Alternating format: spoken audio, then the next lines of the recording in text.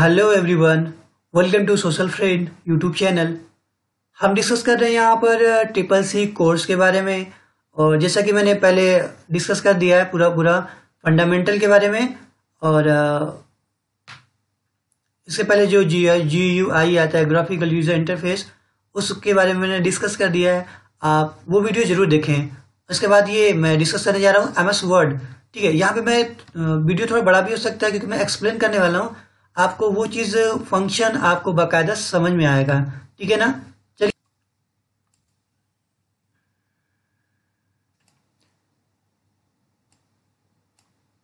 देखिए, यहाँ लिखा है एम एस वर्ड क्या होता है? एम एस वर्ड एक होता है वर्ड प्रोसेसिंग प्रोग्राम ठीक है? एम एस वर्ड जो होता है वर्ड प्रोसेसिंग प्रोग्राम होता है। इसके फ़ाइल का नाम होता है डॉक्यूमेंट और इसको डेवलप किया है माइक्रोसॉफ्ट कंपनी ने। से हम कहते हैं एम एस कॉरपोरेशन भी बोलते हैं। और इट्स अप्लीकेशन सॉफ्टवेयर पूछा कि एम एस वर्ड किस टाइप का सॉफ्टवेयर है? सिस्टम सॉफ्टवेयर एप्लीकेशन सॉफ्टवेयर तो एप्लीकेशन सॉफ्टवेयर के बारे में जानना है तो जान लो इतना कि एप्लीकेशन सॉफ्टवेयर बोलते हैं थर्ड पार्टी कंपनी ठीक है ना? और कोई चीज़ जानो। Which which help to prepare various type of document such as notice banana application report books assignment letter management report और कॉल लेटर बनाना हो ना तो हम एम एस वर्ड का इस्तेमाल करते हैं, ठीक है? तो हम और फीचर को डिस्कस करते हैं। और जो एम एस वर्ड होता है एम एस वर्ड के एम एस वर्ड का जो एक्सटेंशन होता है, उसको होता है dot D O C X ठीक है ना? बोलते हैं dot D O C X ख्याल रखना इस बात का।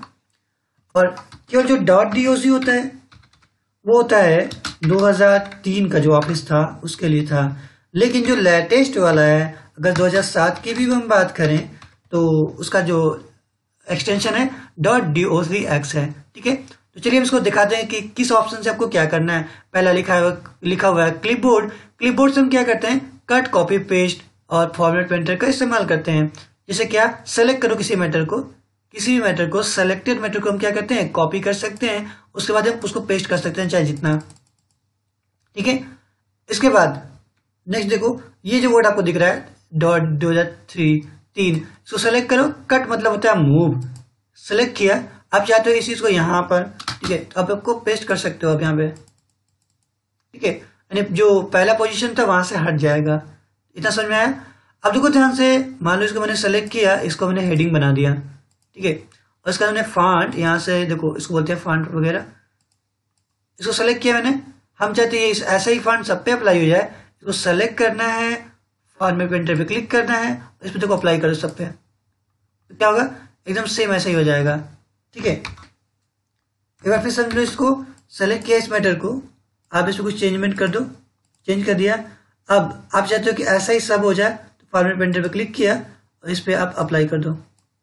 दिख रहा है? ये जैसा था, वैसे ये भी हो जाएगा। मतलब क्या होता है? फॉर्मेट पेंटर उसके पूरी पूरी पूरी फॉर्मेटिंग को कॉपी करता है। और फॉर्मेटिंग किसे कहते हैं? जिसे हमने उसमें बोल्ड कर लिया है। किसी भी टेक्स्ट पे हमने सेलेक्ट करके उस पर बोल्ड इटैलिक अंडरलाइन कलर वगैरह ऐड कर लिया, उसको बोलते हैं हम लोग फॉर्मेटिंग ठीक है, इतना समझ में आया? इसका शॉर्टकट क्या होता है? कंट्रोल शिफ्ट सी देखो कंट्रोल एक्स होता है कट कंट्रोल सी से होता है कॉपी कंट्रोल वी से होता है पेस्ट ठीक है? मैंने इसका शॉर्टकट की का एक लेशन बना के अपलोड किया है। आप उस वीडियो को ज़रूर देखें। अब देखो इसको बोलते हैं हम लोग तीन नाम इसके हैं।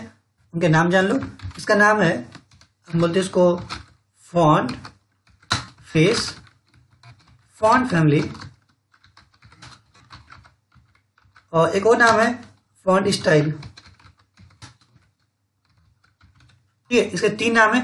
इसको सेलेक्ट करो, देखो ये स्टाइल है पूरा पूरा क्लिक करो, ये आपके पास पूरे फॉन्ट है। आप चाहो जिस फॉन्ट में ऐड करना चाहो क्लिक करो ऐड हो जाएगा।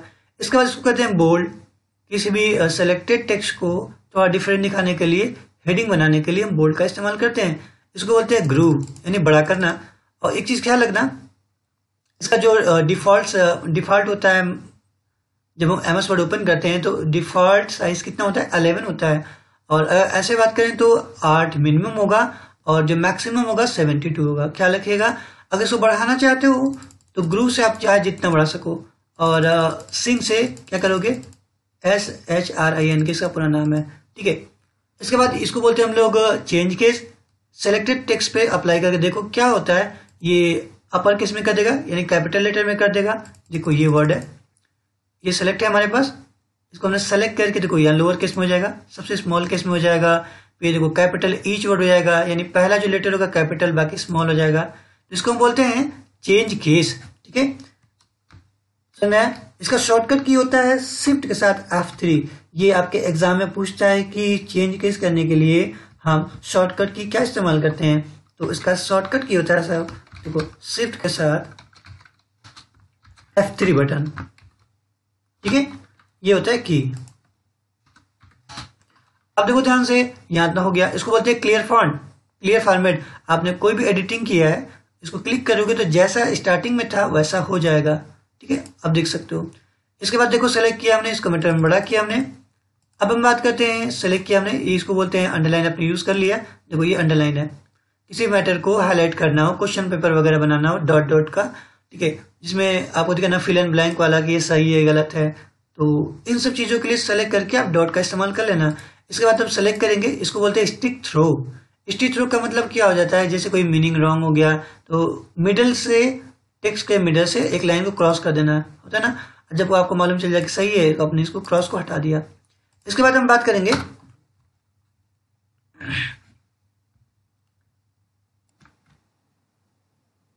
अब देखो, यहाँ पे नेक्स्ट हम दिखाते हैं। ये क्लियर फॉर्मेटिंग हो गया यहाँ पर, ठीक है? और आपने इटैलिक यूज़ कर लिया अंडरलाइन कर लिया स्टिक थ्रो यूज़ कर लिया। अब बात करते हैं सुपर स्क्रिप्ट ये जो आपको दिख रहा है, इसको बोलते हैं सब स्क्रिप्ट इसको बोलते हैं सुपर स्क्रिप्ट तो सब स्क्रिप्ट सुपर स्क्रिप्ट यूज़ करने के लिए क्या करोगे? देखो, पहले है सब स्क्रिप्ट मतलब जैसे आप लिखते हो एस टू ओ तो एस टू ओ में क्या करते हो? जो टू होता है टू को आप सेलेक्ट कर लेते हो।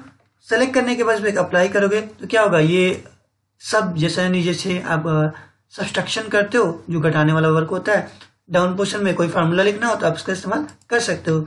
अगर हम सुपर स्क्रिप्ट की बात करें तो क्या करोगे यहाँ पे? लिखते हो टू का स्क्वायर इस टू को आप सेलेक्ट करते हो यहाँ पर।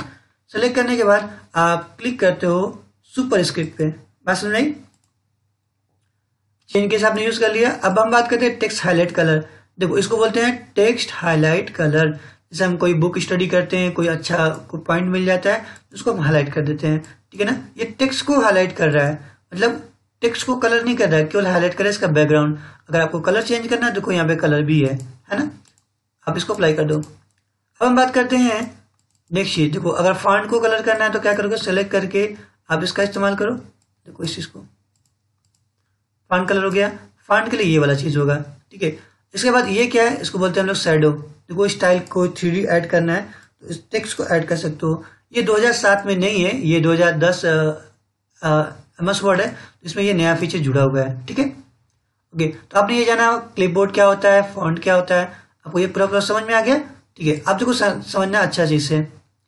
अब हम बात करेंगे पैराग्राफ। इसको बोलते हैं बुलेट नंबर। आपको ये दिख सकता है, कुछ सिंबल वाले बुलेट नंबर होंगे यहाँ पे। देखो, मान लो ये मेरे पास कुछ सॉरी यहाँ पे कुछ लिखे हुए हैं। इनको सेलेक्ट किया मैंने, इनका चाहता हूँ मैं बुलेट चेंज करना, देखो चेंज हो जाएगा।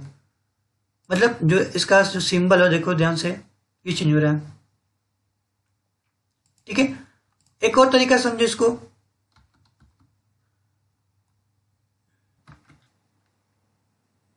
अब देखो ध्यान से अभी हम बात करें बुलेट नंबर की तो अगर बुलेट नंबर लगाना हो, अगर कोई क्वेश्चन पेपर बना रहे हो, देखो ऐसे मान लिखा हमने कि question number one what is computer और यहाँ पे जाते हो चार ऑप्शन तो ऑप्शन लगाने के लिए बहुत ही आसान तरीका क्वेश्चन पेपर बनाना बहुत ही आसान है जी, देखो, लिखा ऑप्शन नंबर ए लिखा इलेक्ट्रॉनिक मशीन इलेक्ट्रॉनिक डिवाइस लिख दिया। देखो इंटर इंटरप्रेस करोगे तो ऑटोमेटिक ये बढ़ेगा, ठीक है ना? इस तरीके से आप क्वेश्चन पेपर भी अपना रेडी कर सकते हो, किसी भी एग्ज़ाम का, ठीक है? आपने लिख दिया इनपुट मशीन ये चार ऑप्शन देना आपको, लिख दिया इनपुट मशीन इंटर किया लिखो आउटपुट मशीन और इसमें क्या इसमें से कोई नहीं, ठीक है ना? ये तरीका है। अब इंटर करो बैक स्पेस करो, एक और करो, एक और करो। अब लिखते हो क्वेश्चन नंबर टू, ठीक है ना? अब क्वेश्चन लिखोगे इस तरह से सेम प्रोसेस होगा, ठीक है? तो यहाँ से हम बुलेट नंबर का इस्तेमाल कर लेंगे। देखो अल्फ़ाबेट यूज़ करना है अल्फ़ाबेट करो, जैसे हमने यहाँ चार लगा दिया। आप चाहते हो इसको सेलेक्ट करो। आप रोमन लगाना चाहते हो रोमन लगाओ। स्मॉल लगाना चाहते हो स्मॉल देखो, ये सब चीज़ें हम इंक्लूड कर सकते हैं, ठीक है? इसके बाद ये हम इसकी बात करते हैं, इसको हम, इसको भी बोलते हैं बुलेट नंबर लेकिन इसमें क्या होता है? फ़र्क थोड़ा सा होगा। क्या होगा? देखो ध्यान से। हमने इसको सेलेक्ट किया। यहाँ पे आर्टिकल की बात हो रही देखो सेलेक्ट करो। ये सब आर्टिकल में चेंज हो जाएगा। जैसे कहानी के पात्र होते हैं, अगर कोई आप ड्रामा वगैरह बना रहे हो, कहानी की स्टोरी वगैरह तो इसमें होता है ना आर्टिकल जितने होते हैं, ठीक है, या आप एक और तरीका जिसे उसमें दिखा सकते हो, संविधान का आर्टिकल वगैरह, ठीक है, वो भी आप दिखा सकते हो इस तरीके से। इसके बाद हम बात करते हैं, यहाँ पर है इंडेंटिंग सेट करना। मैं भी से रूलर मंगा दूँ पहले। देखो, इसको बोलते हैं, एक होता है कंट्रोल एम एक होता है कंट्रोल टी इसको हमने मैटर को सेलेक्ट किया। ध्यान देना क्या होगा? ये मैटर को एडजस्ट करता है। हम कंट्रोल एम का भी इस्तेमाल कर सके कंट्रोल टी का। ठीक है? ओके अब देखो नेक्स्ट हमने दिखाना है। यहाँ पे लिखा हुआ है ये हो गया। अब हम बात करते हैं इनकी। इनको बोलते हैं सेंटर अलाइनमेंट इनको बोलते हैं लेफ़्ट राइट ठीक है? इसको सेट कर लें। देखो, ये वीडियो थोड़ा बड़ा हो जाएगा। आप इस वीडियो को लास्ट तक देखना, मैं थोड़ा प्रैक्टिकल भी बताऊँगा। इसको बोलते हैं left alignment control L control E से सेंटर अलाइनमेंट और कंट्रोल राइट से राइट अलाइनमेंट और कंट्रोल जे से होता है जस्टिफाई कोई कोई अगर मैटर प्रिंट करना हो ना तो जो पूरा लिखने के बाद उसको सेलेक्ट करके जस्टिफाई कर लेना। पूरा अच्छा पैराग्राफ आता है। ठीक है, यहाँ पे मैं एक फॉर्मूला बता दूँ आपको। अगर कोई डमी टेक्स्ट चाहिए ना इजिकल टू करो, लिखो रैंड ओपन क्लोज इंटर आपको डमी टेक्स्ट मिल जाएगा। आप इसका यूज़ कर सकते हो। ठीक है, आपको लिखना नहीं पड़ेगा। इसमें प्रैक्टिकली बता सकते हो। इसको सेलेक्ट करके देखो इसको एडजस्ट कर लो। ये पूरा लाइन है, देखो, यहाँ पे कुछ एडजस्टमेंट नहीं है ना। आप ध्यान सकते हो, यह लाइन देखो, ध्यान से ये वाला। इसको सेलेक्ट करो। सेलेक्ट करने के बाद यहाँ पे जस्टिफाई क्लिक कर दो। देखो ऑटोमेटिक पूरा एकदम सेट हो जाएगा लाइन ओके इसके बाद हम बात करते हैं, यहाँ लिखा हुआ लाइन स्पेसिंग जो सेंटेंस हमारे पास है ये सेलेक्ट करो। आप जब इसमें थोड़ा गैपिंग रहो। ठीक है? गैपिंग का साथ, देखो, यहाँ पे ध्यान मालूम चल जाएगा। लाइन की स्पेसिंग है। अगर आपको फॉर्मेट अच्छा दिखाना है थोड़ा तो आप इस तरीके से दिखा सकते हो। इसके बाद हम बात करते हैं यहाँ पर लाइन कलर देखो, इसको बोलते हैं शेडिंग कलर या लाइन कलर एक पैराग्राफ को सेलेक्ट करेगा ये पूरे एक पैराग्राफ को ये कलर कर देता है। अगर इस चीज़ को हम लाइन बांट दें तो क्या होगा? ये पर्टिकुलर लाइन क्लिक होगा। इसको सेलेक्ट कर दो। अगर मैं इसको फ्लाई कलर तीन कलर में ऐड कर दूँ तो क्या होगा? देखो यहाँ पे, एक कलर मैंने यहाँ लगा दिया ये, एक कलर मैंने व्हाइट कलर यहाँ छोड़ देता हूँ मैं। ठीक है ना? व्हाइट व्हाइट कलर में लगा दो यहाँ पे। अब देखो एक कलर मैंने लगा दिया ग्रीन तो एक तरीके से ना हम बहुत सारा काम कर सकते हैं, ठीक है? किसी भी लाइन को कलर करना हो, कलर कर सकते हैं। इसके बाद सेलेक्ट किया अब देखो बॉर्डर का भी इस्तेमाल कर सकते हैं। ऑल बॉर्डर कर देंगे तो क्या लगना जहाँ हमने लाइन ब्रेक किया था तो इसका एक अलग लाइन हो जाएगा।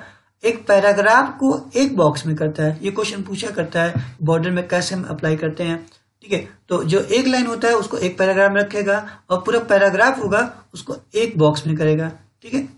इसके बाद देखो यहाँ पे लिखा है शॉर्ट शॉर्ट में पूछा था क्वेश्चन ट्रिपल सी में कि शॉर्ट का यूज़ हम कैसे करते हैं? ठीक है। क्या लिखना है अगर मैं लिख दूँ यहाँ पे आ, कुछ मैं लिख देता हूँ कुछ डेटा मेरे पास है। ए किसी का नाम ए से शुरू हुआ किसी का नाम डी से शुरू हुआ किसी का नाम ए से शुरू हुआ फिर किसी का नाम ए से शुरू हुआ। ठीक है ना? इनमें कुछ मैं सीरीज़ दे देता हूँ। ध्यान देना इससे क्या होगा। ए बी सी अब इसको सेलेक्ट करो। असेंडिंग और डिसेंडिंग मोड की बात हो रही है। इसको सेलेक्ट किया और यहाँ लिखा है क्लिक करो, इस पर एक बॉक्स आएगा। यहाँ देखो डिसेंडिंग मोड कर कर दो पहले। जैसे यहाँ देखो ए सी डी अलग अलग टाइप है ना ऑटोमेटिक एडजस्ट कर देगा। देखो, अब लिखे ई डी से आगे एकदम कंटिन्यू वे में आ गया। अब एक बार फिर से क्लिक करके असेंडिंग कर दोगे ना ओके कर दोगे। डेटा पूरा पूरा सही क्रम में आ जाएगा। ठीक है? अल्फ़ाबेट क्रम की बात कर रहे हैं हम। अब हम बात करेंगे यहाँ पे कुछ और चीज़ें। हमने सेलेक्ट किया। इनको बोलते हैं स्टाइल स्टाइल का यूज़ करना हो तो देखो, यहाँ पे आप इसमें देखो ये नो स्पेसिंग वाला ऑप्शन है। कोई आर्टिकल दे दो हेडिंग वगैरह हेडिंग दे दो। हेडिंग के अंदर दूसरा हेडिंग यूज़ करते हैं तो उसको बोलते हैं सब हेडिंग या हेडिंग टू अगर हम टाइटल यूज़ कर तो टाइटल का इस्तेमाल करेंगे सब टाइटल का इस्तेमाल होगा स्ट्रॉन्ग होगा एम्फेसिस होगा कलर वगैरह होगा। इन सब का इस्तेमाल हम करेंगे। ठीक है, इसके बाद यहाँ पे ऑप्शन मिलेगा स्टाइल का। आप स्टाइल यूज़ करो। टेक्स्ट का जो स्टाइल होता है, वो चीज़ है।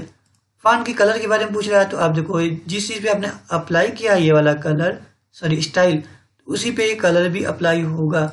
नॉर्मल टेक्स्ट पे बिल्कुल अप्लाई नहीं होगा तो ये कलर दिख रहा है और ये कलर देखना ध्यान से। ठीक है? ये आपको ये वाला चेंज होकर ये वाला चेंज होकर दिखेगा, ये वाला बिल्कुल नहीं होगा। क्योंकि ये स्टाइल जो अप्लाई होता है, इस चीज़ पे। इसके बाद हम बात करते हैं फाइंड और रिप्लेस की बात के बारे में बात कर रहे हैं। कंट्रोल एफ़ से फाइंड होता है। देखो कंट्रोल एफ़ करो, आपको एक बॉक्स मिलेगा। हमने प्रेस किया कंट्रोल एफ़ यहाँ से क्या करोगे कोई भी मैटर को आप फाइंड कर सकते हो, ठीक है ना?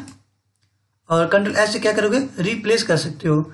यहाँ से कोई वर्ड को फाइंड किया, मान लो, मैंने फाइंड किया स्टाइल आप चेक करना चाहते हो क्लिक करो। यहाँ पे आपको दिख रहा है यहाँ पे स्टाइल अब चाहते हो रिप्लेस कंट्रोल एफ़ से फाइंड एच से रिप्लेस स्टाइल की जगह कुछ और लगाना चाहते हो, लिख दिया आपने स्टाइलस कोई स्मॉल लगाया मैंने एस मैं यहाँ पे क्या करूँगा?